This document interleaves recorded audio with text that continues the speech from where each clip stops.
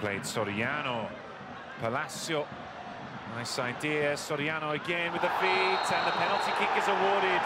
A little bit of inspiration from Roberto Soriano, and Bologna have the chance. Eric Pulgar has the chance to give them this crucial advantage. And so Andreolli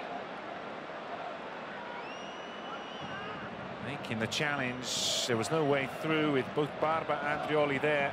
Of course, Soriano was going down.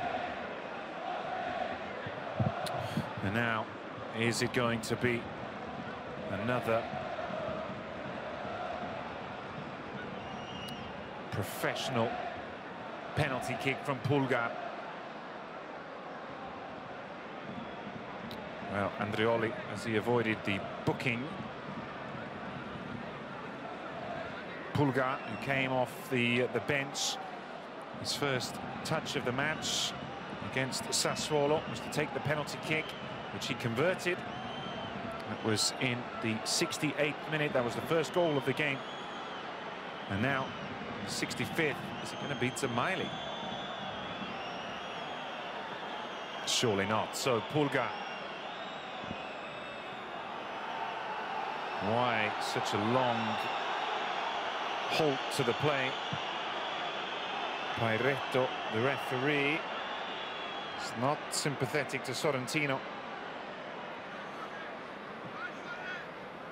Who has to try and stop Eric Pulgar. Three penalties from three attempts this season to get them out of the relegation.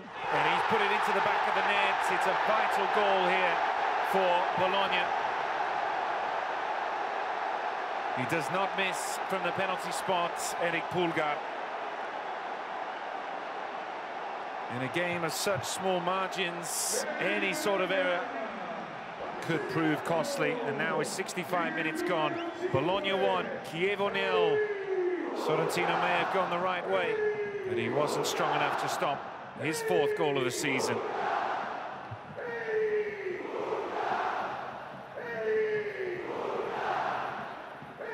Fighting at the bottom of the table, Saputo, the president again there. Looking pretty calm. Sansone cutting back inside. He's got Palacio, still Sansone. He goes down again, and it's another penalty. Just moments, seconds after the first was converted. Pulgar's going to get another opportunity. And how quickly Chievo crumble.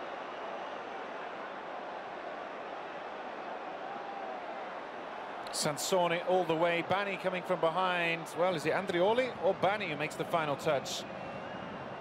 There's not a lot of contact there from Bani. It's Andreolli who's given away both penalties, though uh, Barba was also there with him.